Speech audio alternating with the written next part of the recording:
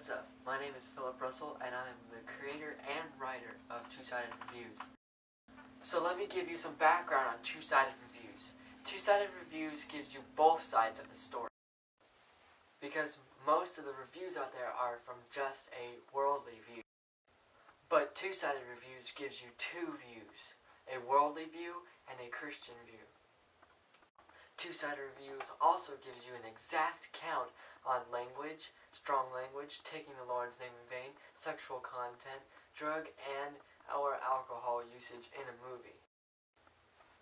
So now that you know what Two-Sided Reviews is all about, I hope you will be looking for my reviews. You can also follow me on Facebook. I will be making a separate page for Two-Sided Reviews.